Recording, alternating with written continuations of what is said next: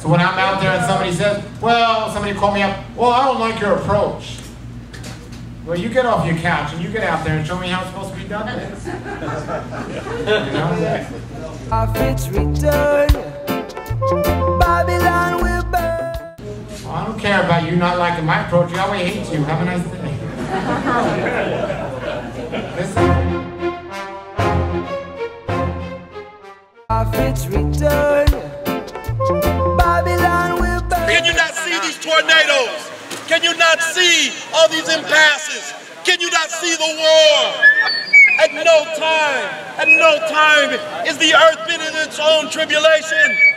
I grant to you, my brothers and sisters, these days are but short. And he says that I shall even shorten the days. Come, come, my brothers and sisters. Christian was yelling at me and cursing on the street. Cursing at me. I'm a Christian and that's not true what you're saying. And she's cursing why she's saying that. It's crazy. We're given on that day, and the, the Spirit fell on Pentecost.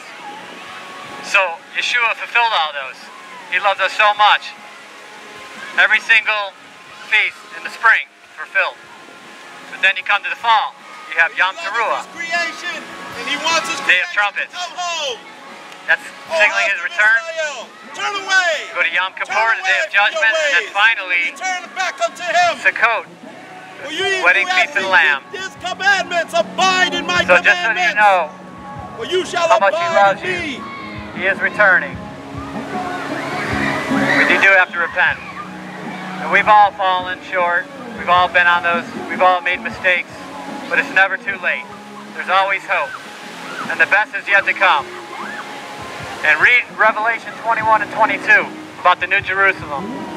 No more pain, no more crying, no more tears. And please read in Genesis uh, 50 20. After Joseph, all the things that his brothers did to him, locked him up in slavery, mocked him for his dreams.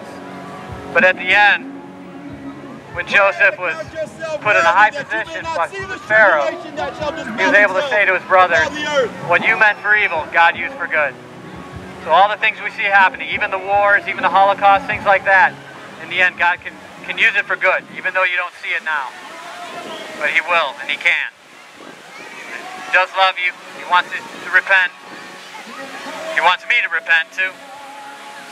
And follow Him with, his, with your whole heart.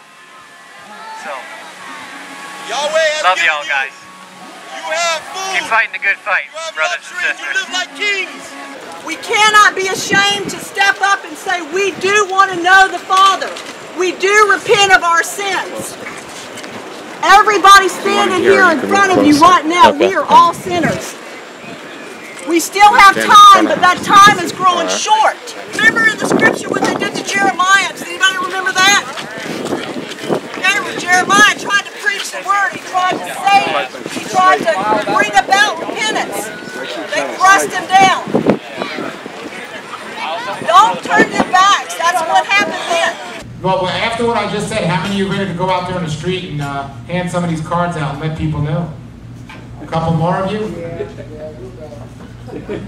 Yeah, I lived uh, as an addict for 30 years, and I was delivered. I used to spend my rent money on booze and pills and anything to get me by. The whole time I was searching for something. And this something is the one that made me and made everything that you see around you. And it's all described between Genesis and Revelation. I didn't buy it, truly, for 30 years. And then one day, I started reading it and it started making sense. And it's there for everyone Jew and Gentile, American, black, white, Asian. We're all his people. Hallelujah! Hallelujah! he died for us, that right there is a one. That's a testament right there. That he can redeem us, that he can restore us, and he'll receive us unto himself. If we're obedient, if we keep his commandments, and we walk in his way. It's not just enough to say, oh yes, I had the experience. We live for him. And he lives through us. And, And it's real. live where it's filthy. Absolutely real. Live with a double-minded man. You're unstable in all your ways. Torah life ministries come out of the world. Messiah people seek the truth.